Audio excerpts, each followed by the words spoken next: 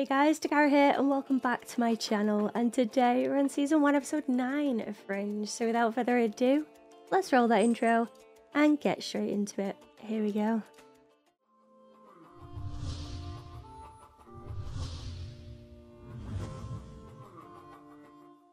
A rocky start, but I'll be letting the board know we're in good hands. Scoob, settle down. Just lie down. Yeah. Ow! Holy. And now you are Butterfly Man. Ow! Why? Why would you do that?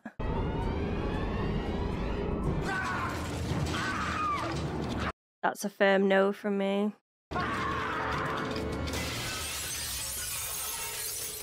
Yeet. Gonna sprout some wings. Or splat.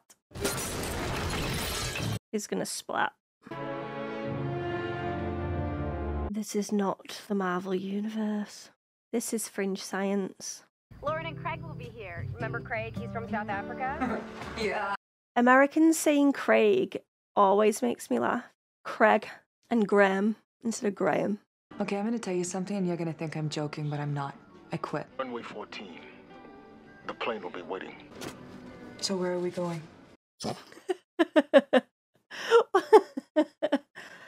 You're gonna think I'm joking. I'm not. I quit. Right. So it's uh, platform 14.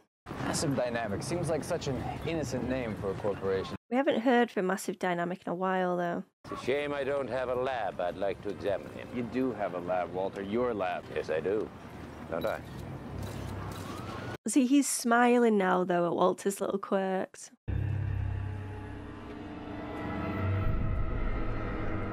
Oh, he's had a haircut and a shave. I'm gonna go wherever this investigation takes me. I would expect nothing less. And I would expect more from you than the polite appearance of cooperation. Okay, Olivia. He wasn't planning on killing himself three days ago. He just booked a plane ticket. But like the butterfly.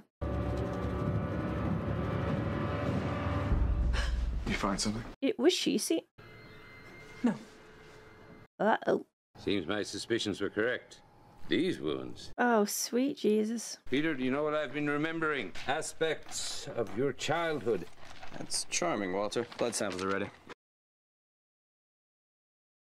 All he would eat was coffee yogurt. Almost drove his mother to tears. Walter, that wasn't me. That was you. Oh? He's right. About the yogurt. In case you haven't noticed, I can be quite obsessive. Really? That's just like you're telling me. I just didn't realize what it would do hearing your voice. Who is this? I know you're back. I need to see you. I can't get away right now. Well, then when? I feel like I'm I'm gonna know this actress because their voice sounds so familiar.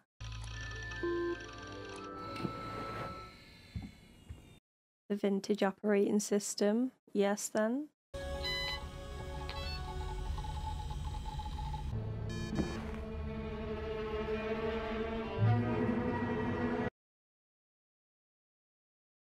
Talk to Walter at least, Olivia. I mean, at least he knows what potentially could happen. Oh, is she going where he led her to last time? Yep. I'm surprised that stuff's still in there, though. Oh, it says Manchester on it. Chester. Butterflies come flying out of this now. You better hide yourself. Uh. Just shut it like it never happened. Maybe I could just take a personal leave, just do nothing for a week or two. Do nothing. Sure. Think that'll help? It would, but she ain't gonna do it. Dr. Bishop wants you back immediately. He thinks you've cracked the case. The guy who jumped out the window? Dr. Bishop thinks it's because of the frogs. The agent Scott Ledder there. Do I know her? Hi. Oh, that was kind of awkward, but quite sweet. No, no, I don't know her. If I can find you, then they can find you. I know. They'll hurt you. Oh, he's in way deeper trouble than what I thought, isn't he? Oh, I am covered in cat hair, Scoob. Good job, I love you. Trust you. I'm not sure I ever even knew you. That's got a sting a bit, no? Look, it's coming. Uh oh. Michael. Things have changed. Yeah, apparently. I convinced him that he was in a meat locker. I told him that this ice cube was a burning coal. No way. So, Walter, what does this have to do with frogs? A species which secretes a, a psychoactive compound. So, you're saying that Mark Young hallucinated being cut on his body and then his mind made it actually happen? A very clever means of murder. I'm sure we have discussed this. No, no, you and I did. Before Olivia got here. Astrid's learning how to uh, clock his moods. I ran a property record search on the basement where you found the toads, but nothing came up. How'd you even find it in the first place? It's a long story. One that she's not going to get into just now. The shed where I found the frogs, John Scott led me to it. Just ignore the hair, guys. I mean, how long is this going to keep happening? Could last for many years. Oh, great.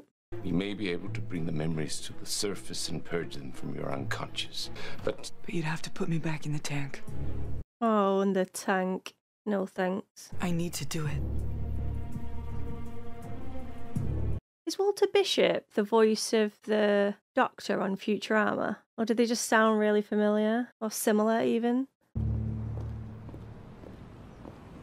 Okay, is this Michael? Peter's watching. Putting some gas in the car. Why? What's up? I think you should just come back. Okay, no problem. See you soon, Astrid. Bye.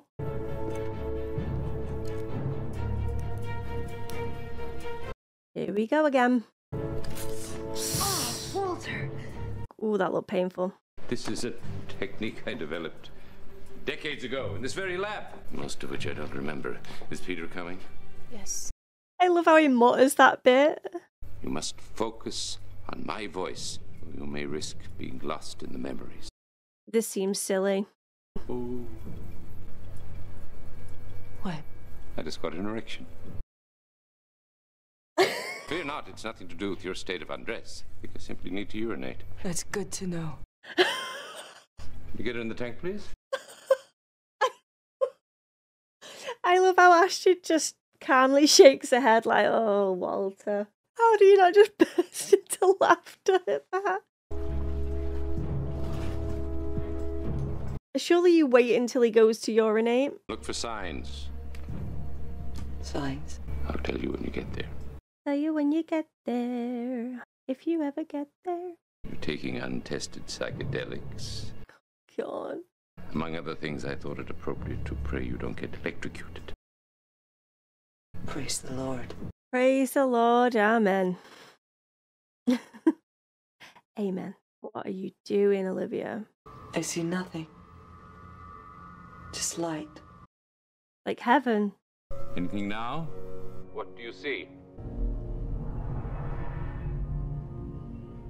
Oh. Is that not her apartment?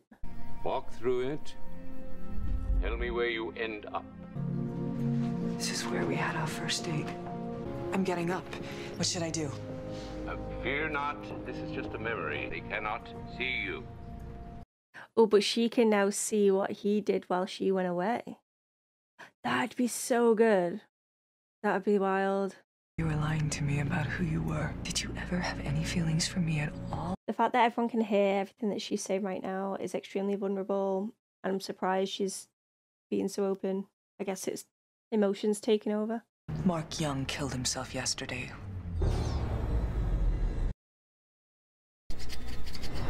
No, Olivia, he definitely does not see you. It looked like he saw. All right, I'm good. Oh my god, it's Mark Young. I see him. He's here. So he knew it. He, he did know him. We do this one deal, and it's hasta luego. Hasta luego. They've disappeared. Because it's John's memory. You're not in their memories, you're in John's. Come on, Olivia. If we get into another Ashley situation, we're screwed. There's no way he's going to kill him.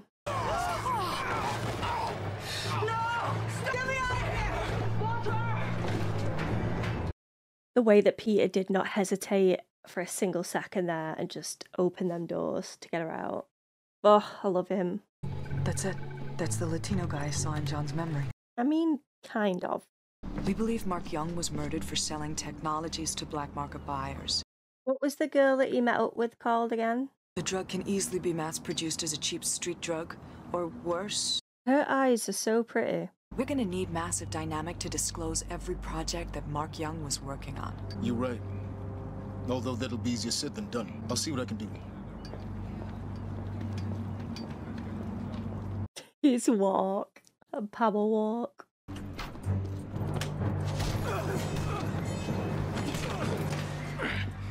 If you touch her again, I'll kill you.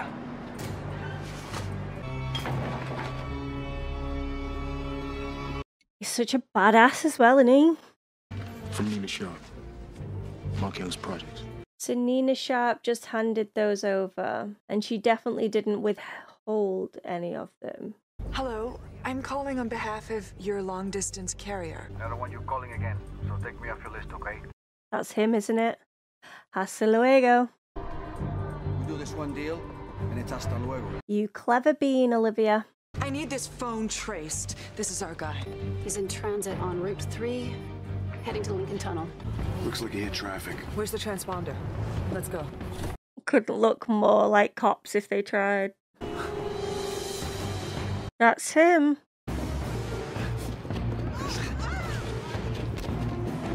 Kneecap him. Or you could get mowed down. That is also an option. The whole thing is is a hoax. So Massive Dynamic can do whatever it wants to whoever it wants. Do you understand that? I think I'm beginning to. Is hell. And its founder, William Bell, is the devil. Again, we haven't seen William Bell yet. Why do I get the privilege of your cooperation? Because I know I can trust you. You don't even know me. John Scott did. Yes. Immunity, complete protection, and I will tell you everything I know. Mm. Nina, Nina, Nina. What do you know? The nurse works for Massive Dynamic and you're getting drugged, aren't you, mate? See, I believe that your cooperation is an illusion. Are you sure you're feeling well, Miss Donovan? I think perhaps you're perceiving things that are entirely in your mind's eye. Nah, don't try and gaslight her. Are you protecting your CEO, William Bell? Does William Bell even exist? Once our witness talks, you lose all leverage in a plea. This bit I don't get. Please, no, John, please don't. Is the room going to be empty? I won't say anything.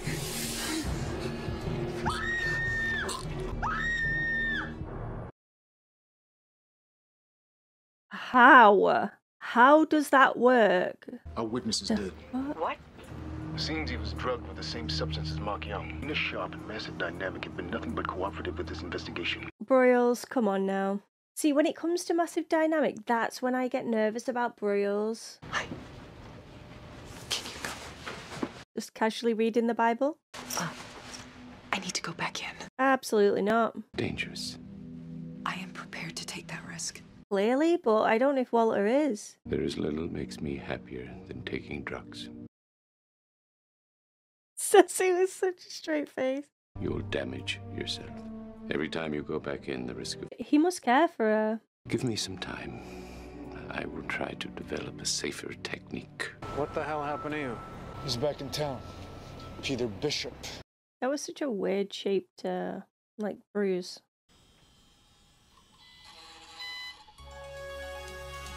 Happening again. What's the clue gonna be? She did say, I saw you in the restaurant.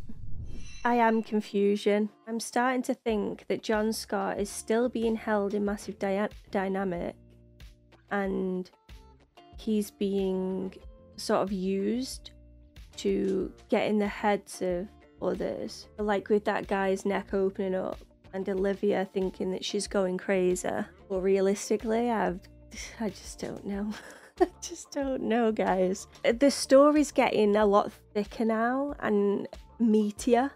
I think the the way that they're pacing the show is very much like slow and steady wins the race.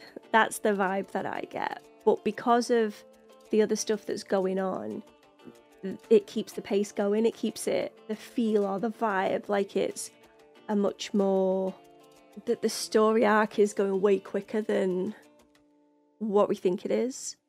Uh, I, I don't know. It's it's a strange one because even though the I want to call the monster of the weeks, but you know the procedural part of the show, it always links back to the main story, and I think that's what makes it different from others that you watch when it comes to those standalone episodes. Because yes, they might give you little bits here and there, but I feel like this show gives you way more than that. It's just if you're open to seeing them and reading them that way.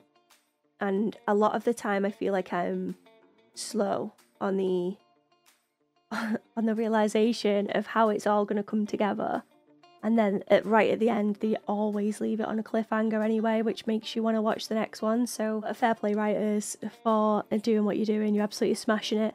I think the Walter character is obviously I loved him from the beginning, but he's becoming a much more likable, approachable character, I think, now.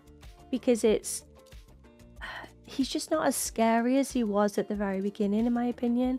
And now he's showing those uh, vulnerable sides and more soft side to him. The way he was talking to Olivia and refusing to do asked and just throw back in that tank because he does love experiments. He's made that clear. Like that's what gives him joy. But he wasn't willing to do that at the risk of losing Olivia, which I think was quite telling of him as a as a character because so far we really haven't seen him show any any remorse uh, when it comes to possible damage that he's doing to others, uh, to, to humans, I should say. There's a possibility that Walter has sensed how connected Peter is to Olivia as well. I can't remember the girl's name now that um, Peter met up with in this one, but I do think that's going to be a very big part of Peter's story. So Michael was the guy that was, or it appeared like he was abusing someone that Peter really cared about. Just at the sight of a bruise, he he's just flipped that switch and he's just wanted to threaten Michael straight away and lay down the law. Like, you touch her again, I, I, I will kill you. And she's clearly very scared by him and worried for Peter. So, whoever these guys are or who they work for, I think Peter needs to be careful. What would be nice though is if he confided in Olivia, told her potentially that he's in a lot of trouble, and seeing how she reacts to that information. Because for me, it seemed more so one sided when it comes to the relationship between Peter and Olivia. I'm not saying she doesn't like him, she definitely does. She sees the good in him. Uh, whereas I think Peter looks at her and just sees the world. like the heart eyes are very strong from Peter to Olivia, but for Olivia to Peter, it's, it's not quite there yet. So if he's in trouble, I do think it would be really interesting to explore that when it comes to Olivia as well, and Walter for that matter. I do think Walter would do anything for Peter, but I don't know if Peter would be willing to allow Walter to help out in any way. Peter seems very protective of those that he's close to, and over these few episodes, because I have only watched eight episodes, so I don't know the characters well yet, guys. I'm just going off what I've seen, and he does seem to be extremely protective of those that he cares for. Olivia, uh, Walter, even Astrid, and now this this new girl as well that's been introduced. So maybe Peter just travels about a lot because he obviously is wrapped up in the wrong stuff, but besides that as well, on the more emotional sense, I think he likes to flit around so that he doesn't feel uh, contained or claustrophobic any in any way and it's as if he doesn't want to get close to people from fear of losing them.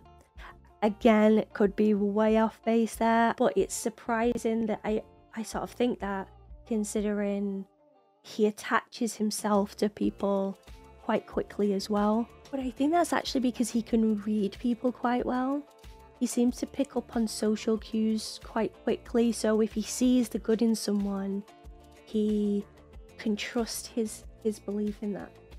And again, on the other side, it's when he sees the bad, he's like, yeah, I'm keeping you at arm's length and I'm going to protect those around me. So he doesn't have a bunch of friends, but the ones that he does have, he likes to hold on to and protect in any way that he can.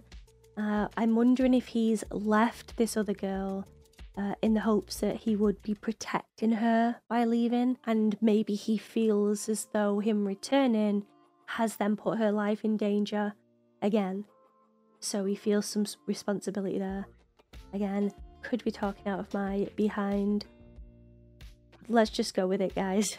And please, even if I'm really far off or if I'm nailing it, try not to give spoilers in the comments. I know it's really difficult, uh, but again, I think that my gut is telling me that the twists in this show are going to be huge. So I'd like to, yeah, I'd like to just enjoy the ride as naively and uh, raw as I as I can. Really, I do like the thought of this tank, the sciencey bit. I think that the the the consciousness of uh, two people sort of crossing I find really interesting. I think where I get lost is what they're capable of doing once having that connection. So for Olivia and Scott, uh, it was they were they were melding through the tank. That bit I get, and I also followed the bit where it was John's visions of those memories. So the bit that I get lost at is because we don't have John. And I think if we if I knew where John was, or even if it ends up being just John's brain in a jar or something something weird like that, uh, then I could potentially wrap my head around it. But because I don't know that side, as far as I know, He's just in the ground. They buried him. They went to his funeral and he is buried. And again, that, that's all I know. Whereas if they replaced John's body for someone else's, if the brain in the jar thing's not an option, then when, say, the Latino guy saw him and his throat opened up, the nurse that walked into the room saw just his throat open no one was there, that's where I get lost. Even, I'm trying to think even from a fringe science point of view. How? How does that possibly happen? I know that during that flashback video that they had, that he said, "Oh, I'm, I've got like an ice cube." No, it was an ice cube, and he said it was a hot coal, and then his skin started burning. So they were suggesting that it was like the mind over matter thing. So in his mind, it was happening, and therefore his mind told his body to react that way. But to go from a burn to your neck just opening up, very different things. Because at least with uh, Walter Bishop's old video, he had an ice cube touching him. There was a physical object there. There was no knife to his neck or paper or anything. A finger going like this. There was nothing there. That's when I get lost. Unless they're going to mess with like the supernatural realm. So to suggest that John Scott is a ghost of some kind, but then that seems a bit silly. So only silly within this world, sorry, not silly in general. But yeah, I don't, I'm unsure. I still don't trust Nina at all. I think she's hiding a hell of a lot. Uh, but I do also think that Broyles knows more about it than he's letting on. It's as if he's forced to keep Nina safe so that he gets some sort of info from her and she's got some protection from Broyles because of that. I just hope that he doesn't genuinely trust her and then he's going to end up getting screwed over. Just like this other guy, this uh, dirty cop. I don't mean John Scott, I mean the other guy. Uh, that's wife is in on it as well. Trying to figure this teleportation device out. Broyles, as far as I'm aware, didn't know about him being a dodgy cop. And and they don't know either. I think that's another thing is they sort of pace it right because realistically it would take time. It's not just gonna all come to a head and that they're just gonna fix everything instantly. Like you discover stuff at a much slower pace than what you can typically find in TV shows in the fictional world. So yeah, I'm I'm enjoying discovering as and when we go because even in these single episodes, again that they link back to the main story arc, which is yeah one of my favorite things. Like you have that main story and then other other stuff plays a part after that. I also want to point out that I liked that Olivia opened up to is it Charlie um, about her visualizing Scott again and his reaction to that was like you know I, I get it I understand I'm with you obviously questioning it because I mean you should always question but not being judgmental and I'm hoping that that's gonna uh, warm her up and allow her to trust uh, someone a little bit more as well because like I say she is very guarded and I, I worry that that is what's going to send her crazy more so than even seeing these emails and stuff. It's trapping all that knowledge and feelings within herself and when she feels as though someone's taking her for granted or pushing a little bit too far she's always says it in a, a quite a blunt way but also wrapped in wrapped in sarcasm as well. Like the conversation she had with Broyles, like, oh no, I, I can't do that, and you're gonna think I'm joking, but I'm not. I, I quit. and then he's like, just get your ass down here. And she's like, oh, okay. okay, I'll be there in a minute. I don't know, I just I, I'm enjoying seeing more sides to Olivia because she is uh, still a mystery to me at this point in time.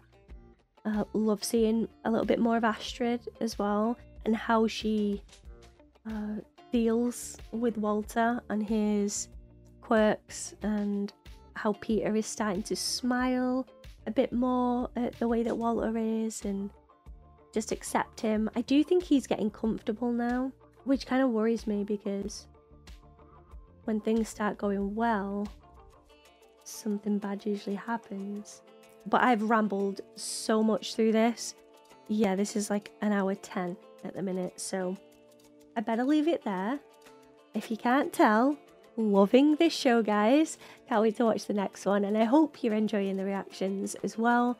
If you are, give this video a cheeky thumbs up. If not for me, do it for Scuba, who made an appearance today and left left his mark everywhere. So I'm gonna have to tidy this place up straight after filming as well. Um, but yeah, I digress. I want to thank you all for watching. Subscribe if you can be so kind. But as always, there's no pressure here. I would just love to have you. A massive shout out to all of my members and a special one to my sponsors in the Mark of Jayne tier, guys. You're amazing. So lucky to have you. And I cannot thank you enough all of the support. All of these are in their extended form over on Patreon, so if you'd like to join the Dak Pack, I would love to have you. But again, totally up to you. There's no pressure. And I hope to see you again soon for another video. Thank you so much. Goodbye for now.